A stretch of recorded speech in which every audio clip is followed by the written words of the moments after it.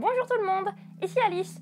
Aujourd'hui, je vais encore vous parler de la Station spatiale internationale et vous expliquer pourquoi c'est un laboratoire aussi exceptionnel et aussi utile pour les scientifiques du monde entier. Mais avant d'en dire plus, générique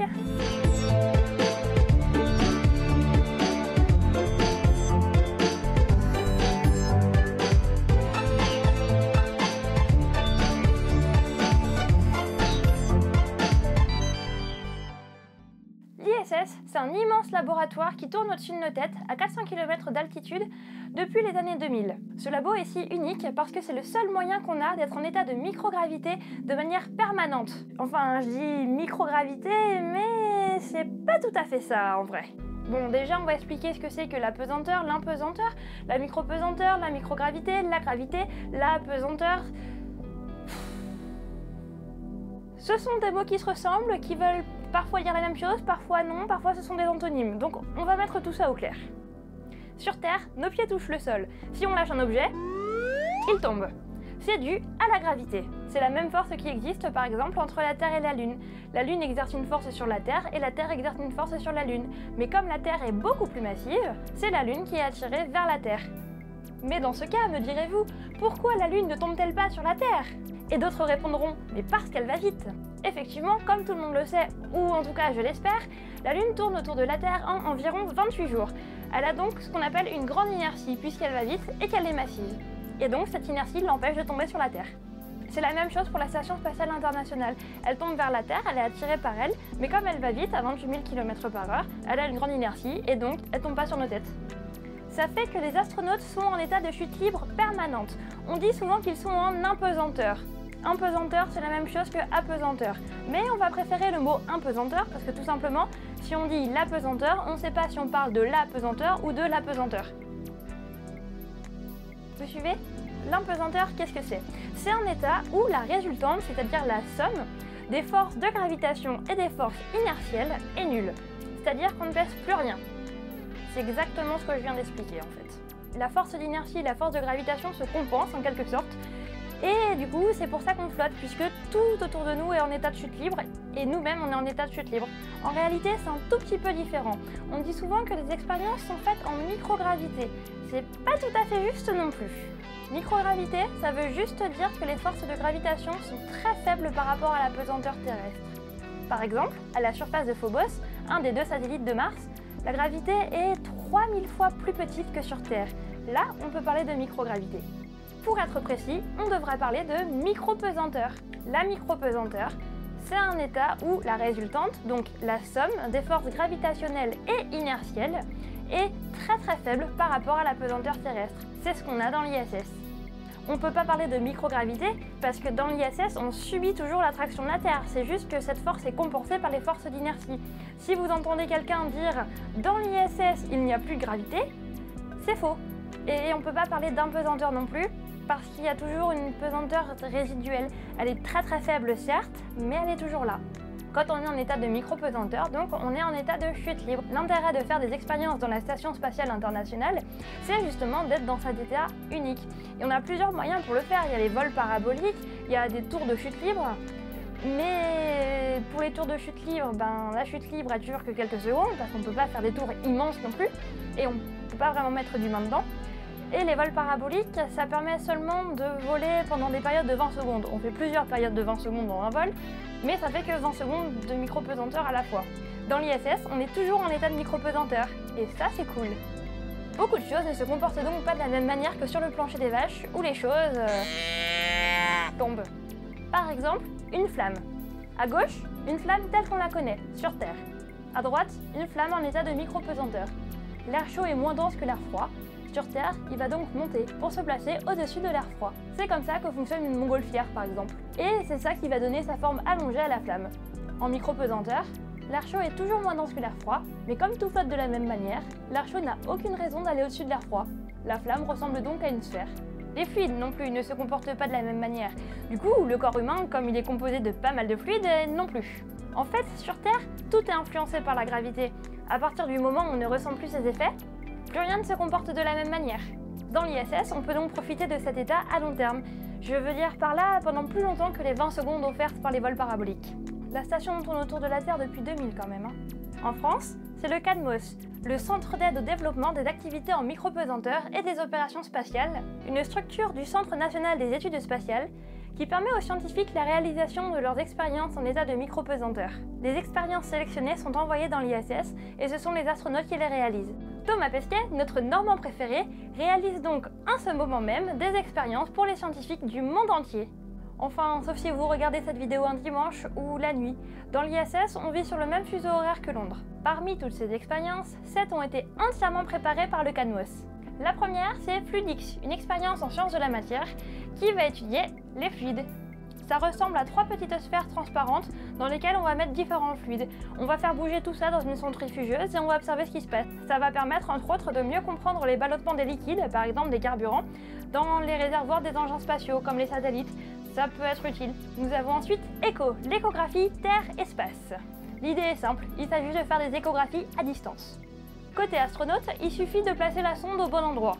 Côté expert, sur Terre, on peut bouger précisément la sonde, affiner les réglages pour obtenir une belle image. Des systèmes similaires sont expérimentés depuis les années 90, mais ECHO est censé être plus simple et plus efficace. Un système comme ça, ce serait pas utile que dans l'espace. Imaginez sur Terre des endroits un peu reculés où les distances sont très grandes et où il y a très peu de médecins. Il faudrait juste un assistant pour aider le patient à réaliser son échographie et on pourra quand même avoir des résultats très précis. Nous avons ensuite Aquapad, un outil de diagnostic de l'eau. Le but, c'est de déterminer rapidement si une eau est potable ou non. Il y a déjà des systèmes d'analyse hein, qui existent dans l'ISS, et heureusement, mais ils prennent du temps, ils sont un peu compliqués. Là, le système Aquapad est vraiment simple. Il s'agit juste d'un espèce de petit disque de coton sur lequel on va mettre un peu d'eau. On va mettre tout ça dans un sachet hermétique pendant 48 heures et s'il y a des bactéries, elles vont avoir formé ce qu'on appelle des colonies. Donc il va y avoir des petits points rouges. Il faut juste compter ces colonies et suivant le nombre de colonies, on peut déterminer si l'eau est potable ou non. Et là, pas de risque d'erreur. On a facilité le travail des astronautes. Ils ont juste à prendre en photo le coton avec une tablette et une application va déterminer si l'eau est potable ou non. C'est beau la technologie, hein Encore une fois, c'est un système qui pourrait être utile sur Terre aussi, dans les endroits où il n'y a pas beaucoup d'eau potable. L'expérience suivante, si on peut appeler ça une expérience, c'est Everywhere, l'assistant de l'astronaute. Il s'agit juste d'une application en fait qui vise à faciliter la vie des astronautes. C'est d'ailleurs cette application qui permet de compter les colonies bactéries pour l'expérience Aquapad. Elle permet d'assurer un suivi médical, physiologique et nutritionnel des astronautes. Par exemple, pour le suivi nutritionnel, les astronautes ont juste à scanner le code barre de ce qu'ils mangent et l'application va pouvoir leur donner des conseils. Pour ce qui est des suivis physiologiques et médicaux, il y a beaucoup de capteurs différents qui peuvent être connectés en Bluetooth directement à la tablette. Cette application, elle a été développée par le MEDES, l'Institut de médecine et de physiologie spatiale. Cette structure soutient le CADMOS dans la mission Proxima et assure le suivi de l'entraînement et le suivi médical des astronautes. Expérience suivante, Matisse, une expérimentation de nouvelles surfaces intelligentes. Alors, on parle de surface intelligente, mais ça ne veut pas dire que c'est une surface qui réfléchit avec des neurones et tout ça. Hein. C'est juste une surface qui va s'adapter à son environnement. Cette surface-là, en l'occurrence, elle s'adapte à son environnement en empêchant les bactéries de se poser dessus et du coup en les empêchant de se développer. Il s'agit d'une surface dite hydrophobe, c'est-à-dire qui empêche l'eau de s'attacher. Or, les bactéries ont besoin d'eau pour se développer, donc sur ces surfaces, elles ne peuvent pas se développer, tout simplement. Sans eau, les bactéries ne peuvent pas créer ce qu'on appelle des biofilms, c'est-à-dire des groupes de bactéries très résistants et qui s'attachent très fortement à la surface sur laquelle elles sont posées. C'est un groupe de bactéries en fait qui vise à protéger les autres bactéries. Sans biofilm, les bactéries les moins résistantes ne peuvent pas survivre. L'expérience est très simple. Les astronautes ont juste à fixer quelques échantillons de cette surface à différents endroits de la station, puis à les laisser là où ils sont. Ils devront ensuite les ramener sur Terre avec eux pour qu'ils soient analysés. Si les résultats sont concluants, des surfaces comme ça pourront être installées partout dans la station pour offrir un environnement beaucoup plus sain aux astronautes. Mais ce sera aussi utile sur Terre dans les endroits à risque, comme les transports en commun, les boutons d'ascenseur ou les hôpitaux. L'expérience suivante, c'est Perspective, une expérience de réalité virtuelle. On l'a vu, la micropesanteur a des effets d'ordre physique que l'on peut voir. Mais elle a aussi des effets d'ordre neurologique. Là-haut, on est complètement désorienté, il n'y a ni haut ni bas. Sur Terre, notre oreille interne, notre sens du toucher, notre vision, tous ces sens nous permettent de déterminer dans quelle position on est, si on est debout, allongé, la tête en bas. Dans l'espace, c'est pas tout à fait pareil. L'oreille interne est en PLS, nos pieds ne touchent plus le sol, donc euh, pour le sens du toucher, on repassera. Et concernant la vision, l'ISS est aménagé de telle sorte qu'on ait l'impression qu'il y ait un haut et un bas.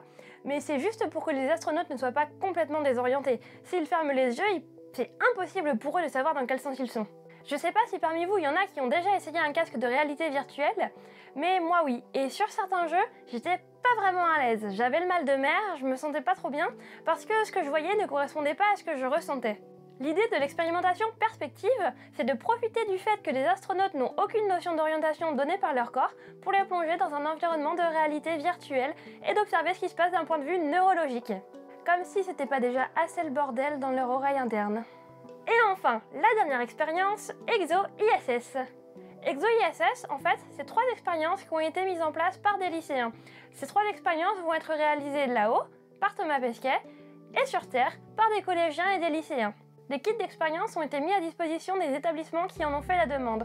Je voulais tenter le coup avec les enfants dont je m'occupe, mais d'une part, je ne travaille pas dans un établissement scolaire, et d'autre part, il y a eu tellement de demandes qu'ils ont dû fermer le formulaire de demande avant la date limite. Dommage. Donc comme je l'ai dit, il y a trois expériences. La première est à propos de la croissance des plantes, la deuxième à propos de la croissance des cristaux, et la troisième à propos des réactions catalytiques, c'est-à-dire en gros ce qui se passe dans notre estomac. Le but de ces expériences, c'est de permettre aux élèves de pouvoir comparer leurs résultats à ceux de Thomas Pesquet, mais surtout de leur faire découvrir la démarche scientifique pour de vrai, puisqu'il s'agit d'expériences scientifiques comme les grands. Voilà, je vous ai présenté quelques-unes des expériences que Thomas Pesquet réalise dans l'espace, mais il y en a beaucoup d'autres. On a vu que les résultats de ces expériences pouvaient trouver des applications sur Terre. Mais surtout, c'est l'endroit idéal pour étudier les effets de la micro-pesanteur sur le corps humain. Parce que pour l'instant, les astronautes partent généralement pendant 6 mois et font juste le tour de la Terre. Mais le jour où on partira explorer d'autres planètes, en commençant par Mars probablement, ben la micro-pesanteur, il faudra faire avec, hein Merci d'avoir regardé cette vidéo jusqu'au bout, j'espère qu'elle vous a plu. Si c'est le cas, n'hésitez pas à la partager, ça fait toujours plaisir. Comme d'habitude, je vous mets le lien vers toutes mes sources dans la description. Et vous pouvez me suivre sur Twitter, at SpaceTomalis. Des bisous